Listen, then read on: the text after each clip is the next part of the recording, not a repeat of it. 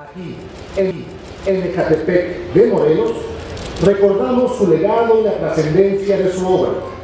Fueron cinco años de vida pública en los que desarrolló cuatro campañas militares y una obra política, doctrinal y administrativa que refleja el sentido social del pensamiento de uno de los más grandes insurgentes.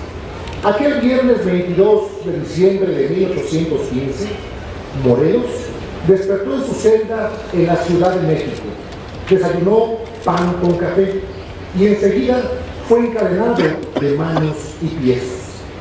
Era un hombre de fe.